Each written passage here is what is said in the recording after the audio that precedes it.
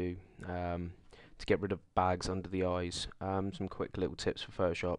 Right, as you can see, he's got bags under his eyes. The first thing you do is get the skin color that's you know fine. So I'll say around this area here. Pick that uh, that color, and you can see it there.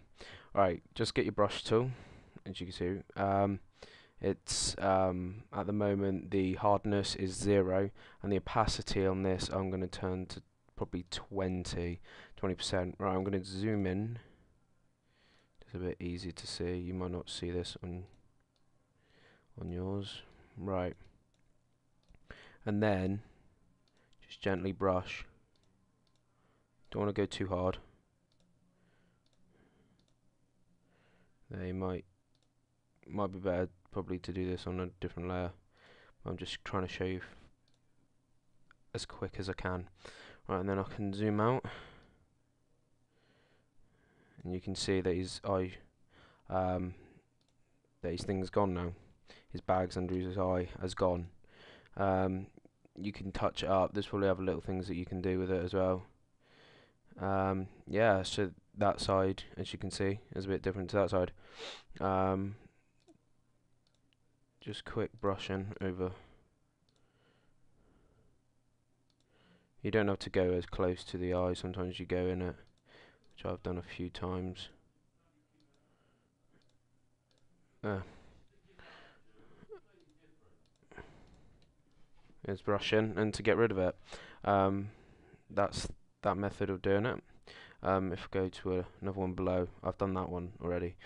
This side here, as you can see, uh, what you can do is if I can find the tool, where are you? Oh, there you go. It's called the uh, clone stamp tool, as you can see, hopefully.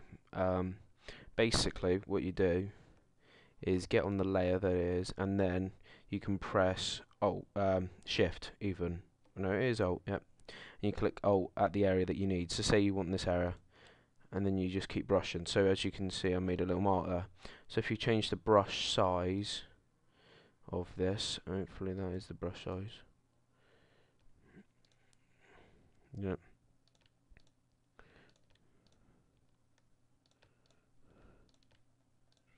That's too bright. It could, um, the only good thing with this, it keeps more of the skin, oh, as you, uh, you know, it keeps the skin tone more. And you can always go over it with the uh, burn tool, and then just change the exposure.